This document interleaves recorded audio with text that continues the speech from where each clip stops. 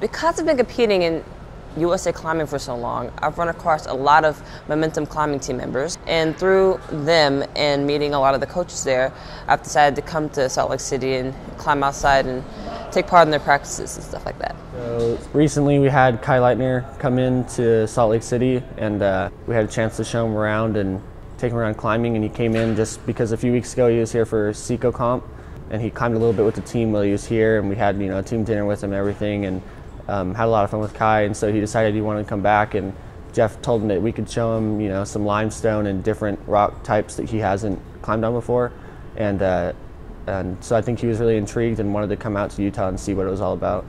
It ended up being kind of um, a very uh, rare rained out week in the fall in Utah. It just doesn't happen here that often. But he was able to get a day or two in American Fork Canyon and another day in Maple, even uh, I believe a day on Granite uh, up in Little Cottonwood. And bouldering's not really his thing, um, but it's good for him and I think he really enjoyed it up there. Climbing at different cracks that are not my style definitely helps me improve as a climber because it opens up to different kinds of rock and different kinds of routes. And so I've really enjoyed going outside of my comfort zone and going to different cracks that, although not necessarily my style, turned out to be really fun. I think climbing in, you know, in Utah, it's really diverse and you know, me growing up here in Salt Lake, I've been really lucky growing up, you know, climbing on every rock type there is. And uh, every canyon that we have, all the way down the different valleys, they all change in rock type and even quality. That's really cool just because you get to see so many different sides of climbing. You know, you can go bouldering and sport climbing and, you know, trad climbing or any, you know, any type of climbing that you want to do. And uh, it all happens here in Salt Lake. Um, climbing in Salt Lake is definitely an awesome experience because there's a lot of diversity in the routes. If you have different styles, you can just go to the crag that appeals to you the most, and that's the diversity of Salt Lake City climbing is definitely interesting and awesome, and I hope to come back.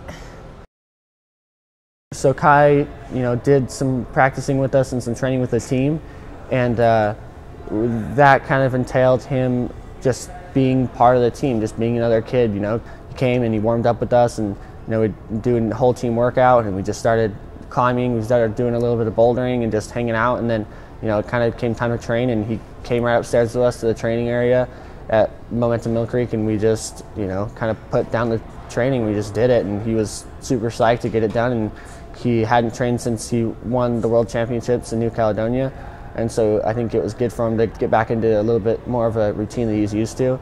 And uh, he crushed the workout and showed all of us up, and it was, it was a lot of fun.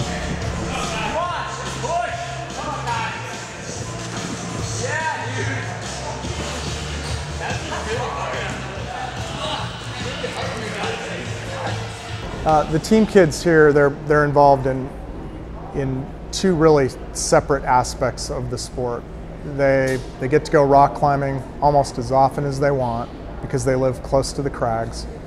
And they're also part of a competitive team and they, they do all the competitions and they, they try to get to the top level just the way Kai does. And so I don't know that a, a one week trip was much time uh, to learn from Kai, but they have learned along this, this long rope season um, that, that this kid, Kai Lightner, has this great fortitude to be able to, way back at the beginning of the season, which for him was Youth World Championships last year, when he messed up on a move, took fourth place.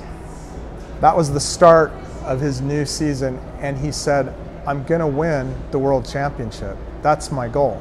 He didn't say, I want to make the finals. I hope I get on the podium.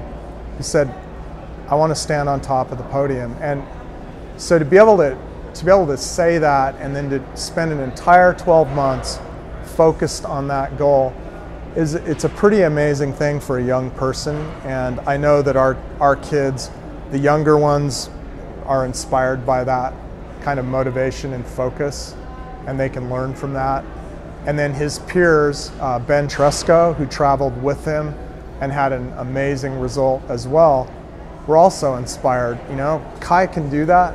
I, I can do that too. It's not enough to make finals next year for Ben. He, he knows he can do that. And now, now he's, he's not only motivated by his own performance, but by seeing a U.S. teammate that was able to stand on top of the podium. It's very motivating for those kids. I think it's very important to have friends and people in the climbing community that you're able to hang out with and climb with because at the end of the day, climbing is an activity that should be fun and that you should enjoy in a place where you should be able to meet a lot of friends and be able to connect with people and share a common interest. Yeah, it's, it's really important to kind of meet people from around the country, you know, just different people in the climbing community because you know now I talked to Kai and you know we've been talking about maybe me coming back east and climbing out there, maybe in the New River Gorge and stuff like that. You know, just having the network and you know, kind of all coming together. And I think everyone is kind of knitted together in the climbing community. It's a really close community, even though we're all so far apart. Kai's getting older now, and Connie's going to let him, you know, fly out to places where he has friends.